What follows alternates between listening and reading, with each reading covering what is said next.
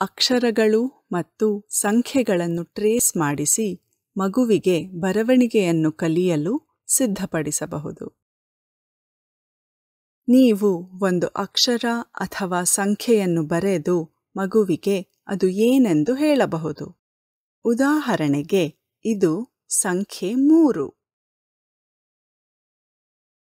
ನಂತರ ನೀವು ಮಗುವಿಗೆ ಅದನ್ನು ಬೆರಳಿನಿಂದ ಟ್ರೇಸ್ ಮಾಡಲು ಹೇಳಿ.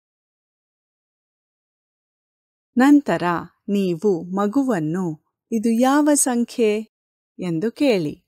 ಆಗ ಮಗು ಮೂರು ಎಂದು ಹೇಳಬಹುದು.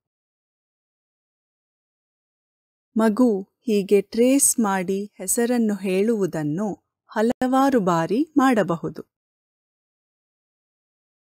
ಟ್ರೇಸ್ ಮಾಡುವುದು ಮಗುವಿನ ಬರವಣಿಗೆಯ ಅಭ್ಯಾಸದ ಮೊದಲ ಹೆಜ್ಜೆ.